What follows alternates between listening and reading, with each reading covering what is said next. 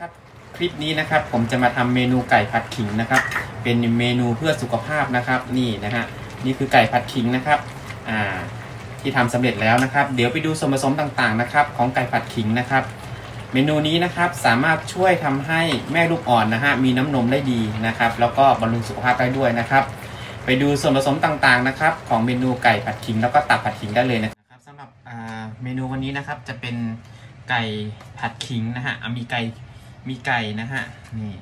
แล้วก็จะมีตับด้วยนะฮะตับไก่อันนี้ก็หนึ่งหนึ่งเหรียญนะฮะอันนี้ก็เหรียญนิดๆนะครับอืมเราจะผสมกันไปแต่ส่วนใหญ่จะใช้จะใช้ตับนะครับ ก็จะมีเห็ดนะฮะอ่ามีขิงนะฮะที่หั่นแล้วนะครับ แล้วก็มีพริกชี้ฟ้าแดงชี้ฟ้าเขียวนะฮะถ้ามีผมก็จะใส่แครอทนิดนึงนะฮะแล้วใช้พริกกระดิ่งนะครับ อันนี้ก็คือ ของที่ใส่วันนี้นะฮะ เห็ดก็ผ่าเลยนะฮะพออันนี้ล้างแล้วนะฮะอันนี้เป็นเห็ดเห็ดที่เราเอามานี่เป็นเห็ดออร์แกนิกนะฮะเราปลูกเองก็หั่นให้มันขิงก็ไปหั่นมาฮะสไลด์มาให้เรียบร้อยนะฮะแต่บางอย่างผมก็หั่นหมดแล้วเนาะแครอทนี้เราจะช่วยแค่เอาสีเนาะให้มันสวยงาม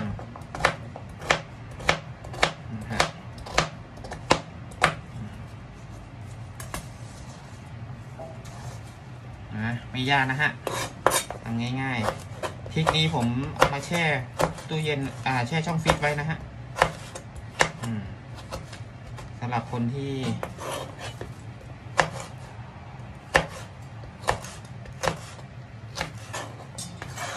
ก็มีพริกเขียวพริกแดงเนาะนะครับอันนี้คือผักนะ ที่เราเตรียมไว้นะครับ อ่า อันนี้ผัก ที่เราจะต้องใช้นะฮะ ส่วนตัวของตับ ตับเราก็จะมีวิธีนะฮะ อ่า นี่นะฮะ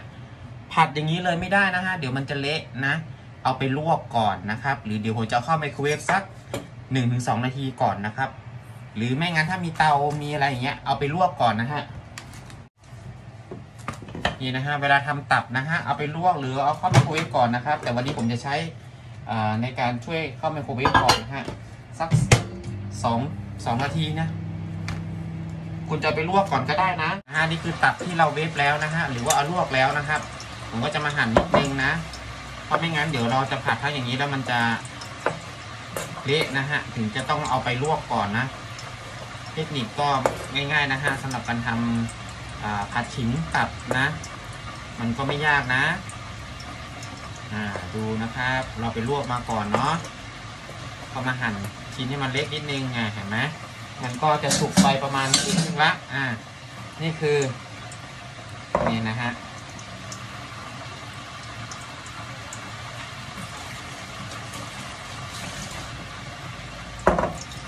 นะครับ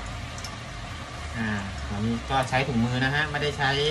มือล้วนๆเนาะทำอันนี้คือส่วนผสมนะครับที่เราจะเตรียมไว้นะ ใส่กระเทียมลงไปนะครับหนึ่งช้อนชานะฮะแล้วหลังจากนั้นนะครับ ใส่ขิงเข้าไปผัดก่อนเนาะให้ได้น้ำมันขิงนะครับนะให้ได้น้ำมันขิงนะครับพอร้อนปั๊บนะ ใส่ไก่ลงไปผัดก่อนนะครับ ราะว่าเดี๋ยวเครื่องในนี้มันสุกแล้วนะครับ สุกครึ่งหนึ่งละอ่าอ่านะฮะพอไก่เริ่มสุกนะครับ คุณก็ใส่ตับไปเลยนะฮะ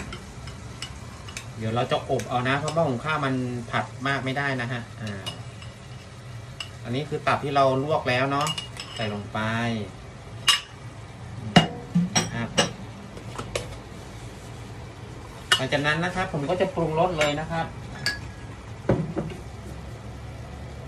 ซีอิ๊วขาวนะครับ ผมจะใช้อยู่ที่สองช้อน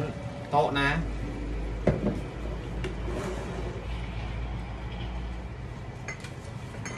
น้ำปลานะครับ ผมจะใช้อยู่ที่หนึ่งช้อนโต๊ะนะ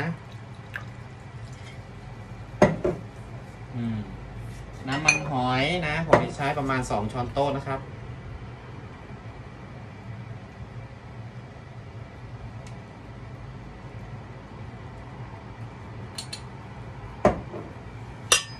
ช้สองช้อนโต๊ะเนาะคือตัวนี้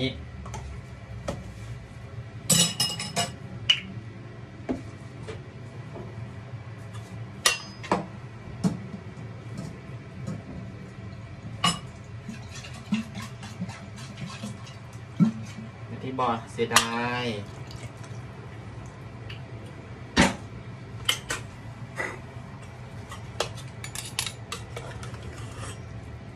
นะก็จะปรุงไว้เลยนะครับ แล้วก็น้ำตาลทราย น้ำตาลทรายนะครับผมจะใช้อยู่ที่สองช้อนชานะครับ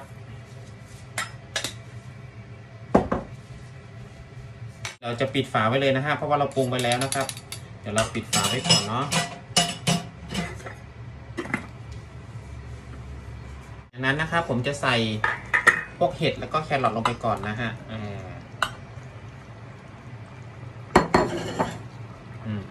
ทุกอย่างนะครับ แล้วก็ผมจะใส่พวกผัก ลงไปเลยนะแล้วก็ปิดฝาไว้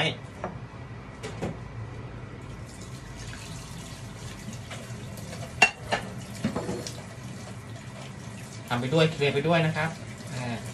จะได้ไม่รกจะได้ไม่รกเรานะครับอ่านะค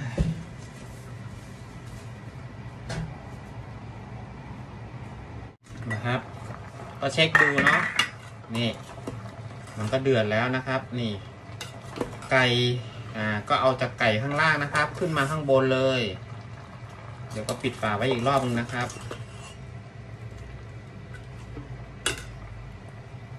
ไก่กระตับนะส่งขึ้นมานะครับ ไม่ต้องถึงขนาดผัดเนาะเพราะว่ามันไม่ใช่เป็นกระทะผัดนะ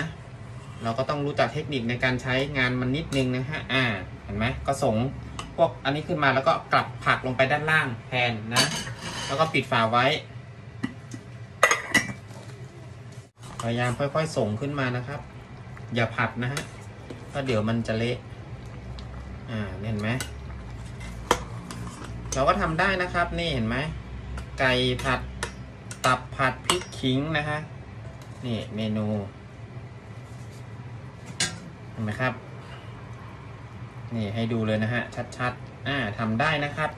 เดี๋ยวรอให้ผักมันสุกมันก็สามารถรับประทานได้เลยนะฮะสำหรับคลิปนี้นะครับ ถ้าชอบนะครับ กด subscribe นะครับ กดกระดิ่งแจ้งเตือนไว้ด้วยนะครับ แล้วกดไลค์ให้ด้วยนะครับ เจอกันใหม่ในคลิปหน้านะครับ สวัสดีครับ